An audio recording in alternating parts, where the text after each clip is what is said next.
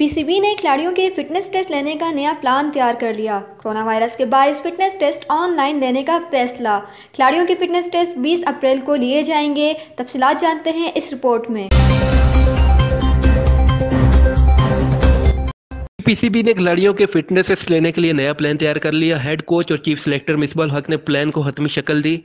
नए प्लान के मुताबिक तमाम खिलाड़ियों को फोटेजेस और वीडियोस उनके घरों तक पहुंचाई जाएँगी ताकि खिलाड़ियों को मुकम्मल तैयारी का मौका मिल सके। नए प्लान के मुताबिक तमाम खिलाड़ियों के टेस्ट 20 अप्रैल को लिए जाएँगे, जो कि पहले 23 और 24 मार्च को लिए जाने थे, लेकिन कोरोना वायरस की वजह से तमाम टेस्ट मुलतवी कर दिए गए थे।